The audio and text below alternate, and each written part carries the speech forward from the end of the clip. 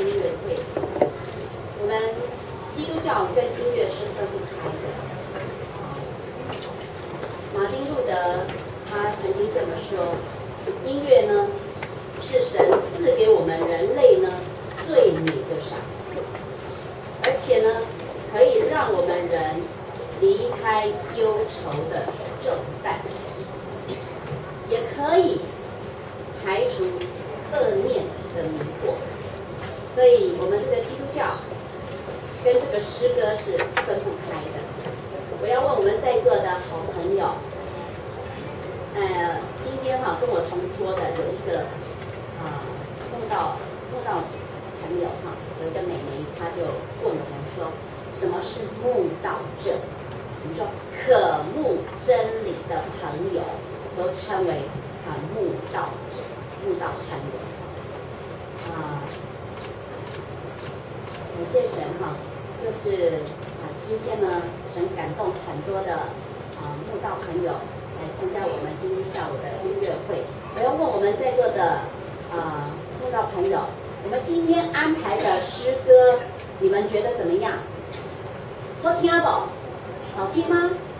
好哎，要常来，要常来，你们就会常常听得到哈。今天要跟大家分享一下哈，因为今天啊，我们有听到那个啊汪弟兄美好的见证哈。那因为过去我曾经注目新竹教会有四年之久，那在新竹教会四年当中呢，啊，神很奇妙的带领很多啊这些慕道朋友来信主的。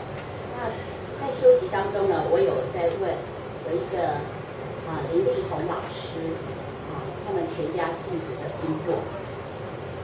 那呃，这个林立红老师呢，他本身是音乐老师，他跟我们教会有一个古习恩老师学声乐，而且从小姐开始就一直学哈，一直到他结婚之后。那这个林老师呢，呃，他第一次踏到我们真耶稣教会，是因为他的姐姐呃信了主。然后在教会结婚，所以因着姐姐的缘故，第一次就踏到我们真耶稣教会，啊，就是到三重教会去。那他自己本身，啊，就是结婚之后忙着工作，然后在工作上面他碰到了很大的瓶颈，当然家庭也有一些问题。后来他就。呃，很忧郁。那每次呢，去古老师那边上课的时候，他就非常羡慕，为什么这些信耶稣的人是这么的快乐？他好羡慕。然后古老师每次啊给学生上课的时候，都会把福音带进去给他的学生，尤其他的学生当中有一些还没啊。还没有机会来认识耶稣的，他都趁这个机会传福音。那有一次呢，这个烈红老师啊，因为他承受很大的压力，在身心上面呢，啊，就是啊承受不住。有一次他几乎崩体了，然后就哭着就跟古老师说，他再也撑不下去了。然后后来古老师听了他所啊所讲的内心的苦闷。还有很多的压力，还有很多他内心很多的问题。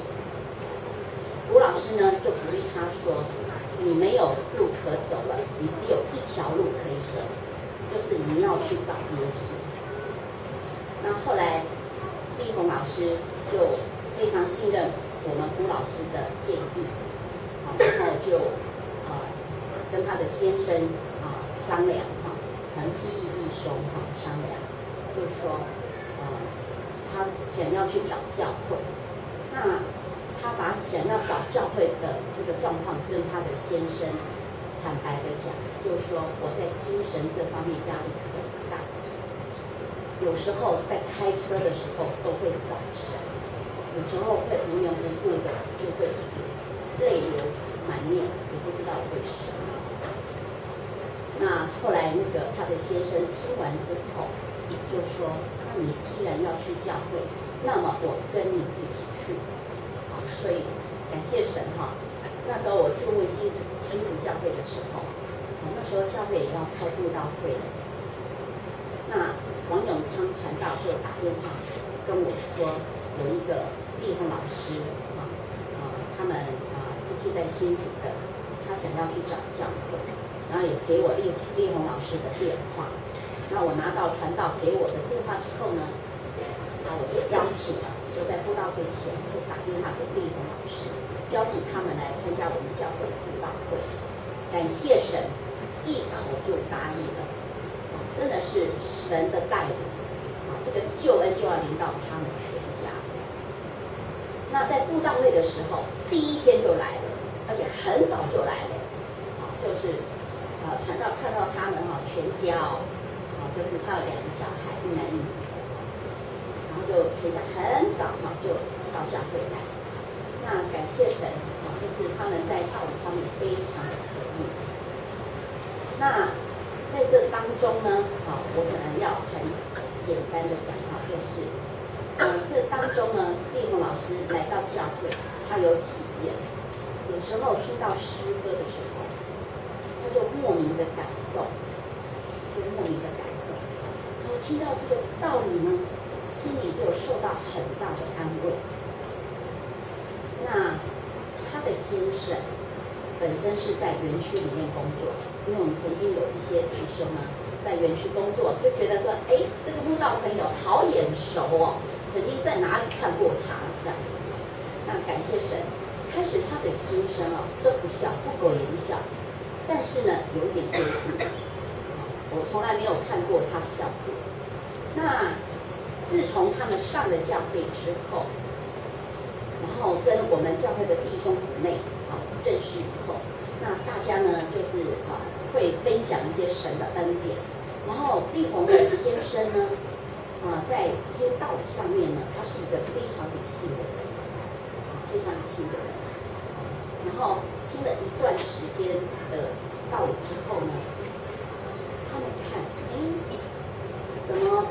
啊，很多人哈，就是哎来教会啊，很单纯的到前面来祷告，就得圣灵，然后得圣灵之后啊，那个脸哦，真的从内心里头会笑哎，啊，然后他们心里想就是我多多久没有从内心里头真的是开怀大笑了啊，那所以他们也是很渴慕啊，就是说啊想要来求这个圣灵啊，那感谢神，神都知道他们的心哈。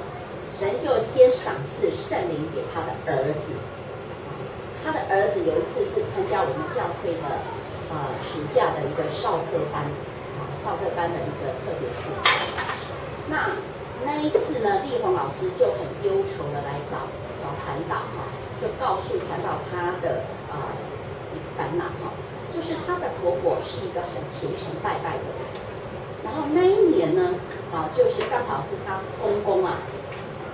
啊，就是被做对尼啊，就是啊，他们要到庙寺里面，就是做那个做替他公公做法啊，做法事。啊，所以呢，啊，连啊他的小孩子啊，这个孙子呢，都要带去。那他已经上教会了，他心里想说，那我怎么办呢？啊，因为丽红老师很有原则。就是自从他得到之后，他知道不拿香不拜拜的哈，他很坚持。可是他的先生开始的时候没那么坚定，然后小孩子啊有时候也是啊在那种啊啊那个祖母的还有那个姑姑的啊那一种啊胁迫之下，有时候孩子在这方面就没有那么坚持。这是他们在墓道的时候。那那时候，丽红老师就跟跟我说，我的儿子去参，我把他送到那个少特班去参加那个少特班的那个啊学龄会哈。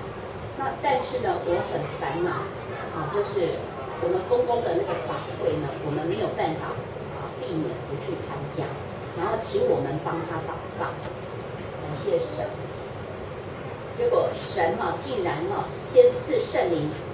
给 P.E 的儿子，竟然在那个少特丹的时候就得到圣灵，哇！感谢神，就让这个孩子先体验到有神。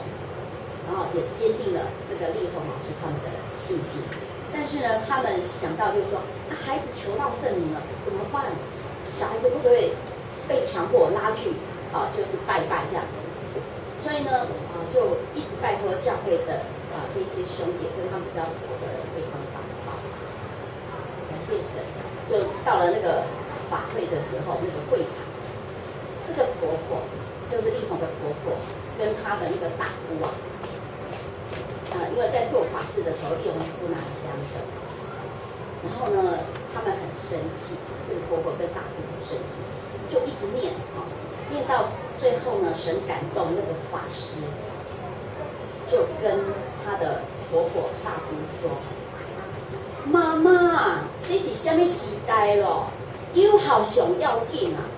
哦，安装摆拢不不呢，不是最重要的。”法师开口了，结果妈妈这个婆婆哈就闭嘴了。然后这个大姑啊，本来是怂恿妈妈的，她也闭上嘴了。啊，他们就说家庭要和睦。后来他们就从那时候开始，他的大姑就闭上嘴巴，婆婆也没有再念。然后那一次的法会当中就没有强迫他们去拿香，这是非常奇妙的一个经历，也坚定了我们。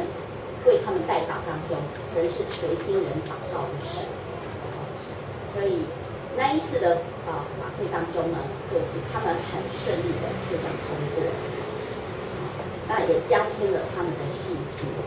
那之后呢，啊就是丽红的女儿也求到圣灵。